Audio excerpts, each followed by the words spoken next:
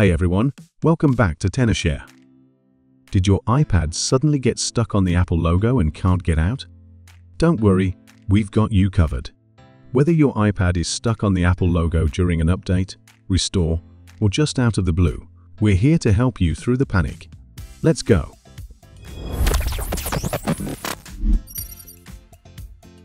Since this is mainly caused by a system issue, try a force restart to get it out of the system crash. Let's try. Quickly press and release the volume up button. Then the volume down button. Press and hold the power button for 10 seconds. Like this.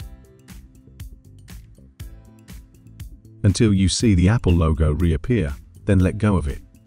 It can do a complete clean reboot on your iPhone to resolve various software issues such as crashes or getting stuck, and this will not lose any data. If your iPad is still gets stuck on Apple logo, it might be a system bug causing the issue. In that case, you need a computer to perform the following fix. So here, I will show you how to fix your iPad without data loss using ReiBoot. Let's see how it works. After downloaded ReiBoot, connect your iPad with an official cable and click the green Start button in the System Repair area. Choose System Repair to fix your device without data loss. It might guide you to put your iPad in recovery mode. It's simple, just like a force restart, but press the power button longer. Press the volume up button, then the volume down button, and then long press the power button until your device enters the support interface.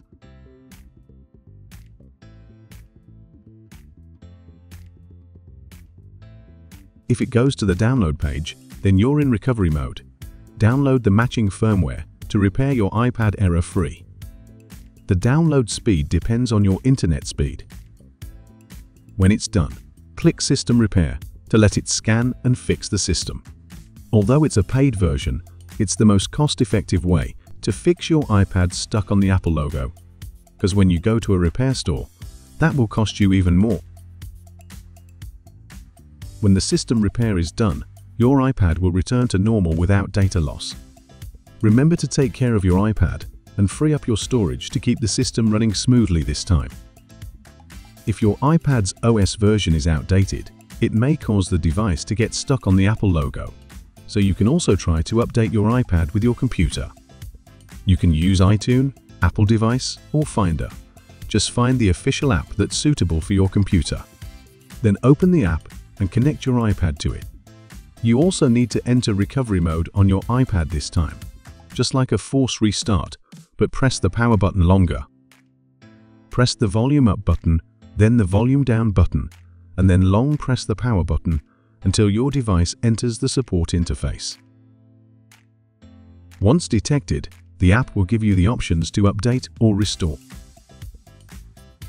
Opt for the update if you wish to retain your data the app will download the latest firmware and initiate the update process.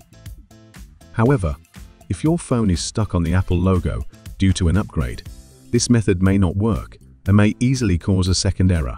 In this case, you will have to restore your iPad and your phone data will be lost.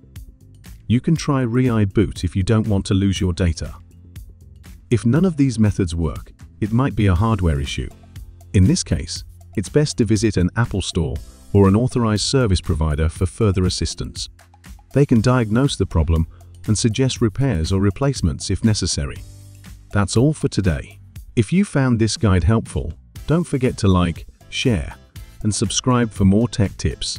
Or leave a comment with any question, whether it related or not. We are always here to help.